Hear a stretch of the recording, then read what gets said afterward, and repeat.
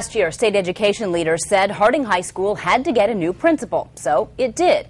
Now the new guy's turning heads while he tries to make major improvements. News Channel 15's Chris Hopper talked to Kent Hoffman earlier this week, and why does he think he has the ability to fix the school? Well, Heather, because he's done it before. He took one of the lowest performing schools in New York City and turned it into one of the best, and he's ready to do the same at Harding. Meet Kent Hoffman. He's the new principal at Harding High School, and he comes to Fort Wayne from New York, where he was principal at one of the lowest performing schools in New York City. We were hoping for 11% graduation rate.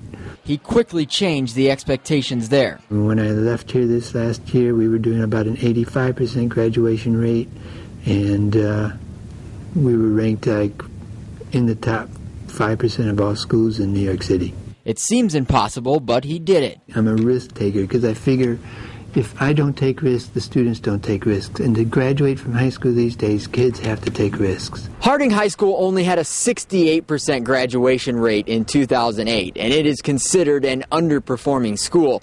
And that's exactly what Hoffman was looking for when he was searching for new jobs. I wanted schools that were interested in changing, interested in making their kids succeed, interested in making their kids succeed beyond their wildest expectations. At Harding, he's already one of the students' favorites. After one month, he's on a first name basis with many of them. The Bronx, they were my kids, and now these kids at Paul Harding are my kids. Britt Magnuson is the executive director of student services for East Allen County Schools. She helped hire Hoffman. He said something that was riveting to everybody on the interview committee, which is he said, I just don't give up. Improving Harding will be challenging, not as challenging as his school in New York, but it will take a lot of work.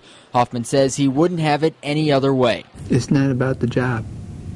If it was about the job, I could take a job in private industry and probably make twice as much and have twice as less work to do.